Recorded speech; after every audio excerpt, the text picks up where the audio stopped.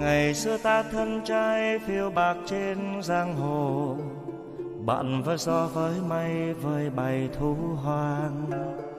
Luyện đánh thu đánh nhím ở tân bá lăng huyền. Chạy chân chính đôi chân kim tiền mua ngựa. Ok, chúng ta sẽ solo lại với ác thiên vương trùy Nói chung là ông này BK khá là hay Vừa đánh bại mình ở đại hội võ lâm đấy. Thì uh, vừa mình nai ở trên à, uh, fanpage của group của game. Nói chung là dính kích 3 của ông này phát chết luôn. Rất là khó chịu anh em ạ Khi solo với thiên vương trùy ở bản này. Khi dính ít ba. Và anh em được biết là khi dính ít ba một phát là chết luôn anh em ạ. Chết nói chung là không kịp bơm máu ấy anh em. Ở đây mình mua 20 bình thể lực và 30 bình máu.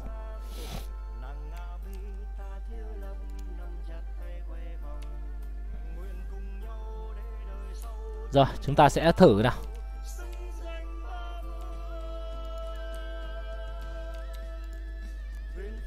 Ui dồi, gần chết anh em. Gần phát dính cái uh, bùa Ngại nhất là cái vấn đề bùa anh em ạ. Khi chúng ta đứng lại bùa với thiên vương là rất hay bị Bị dính cái kiểu ông ấy bắt dính.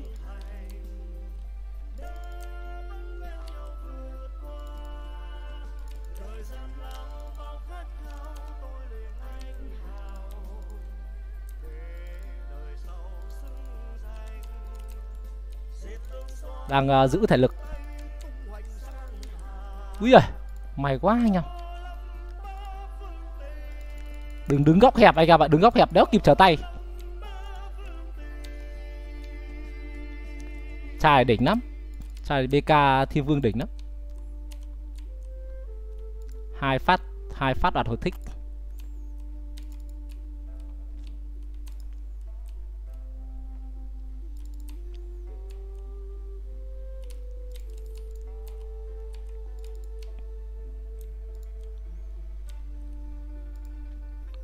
Ui ôi lần chết anh em ạ.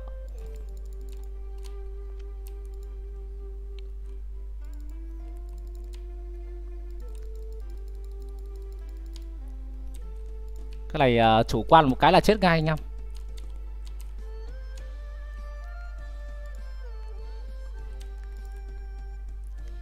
Đao băng thì giữ lại một chút anh em Đao băng thì nó khự lại một phút chút. Còn đao mộc thì Nó không có hiệu ứng gì chỉ mỗi hiệu ứng độc thôi.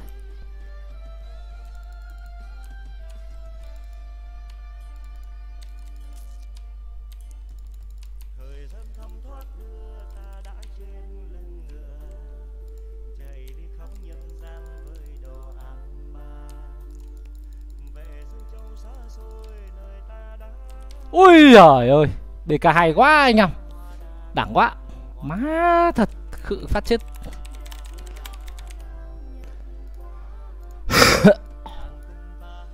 thua rồi anh em ạ thua rồi. Cao thủ gặp cao thủ. Hại quá.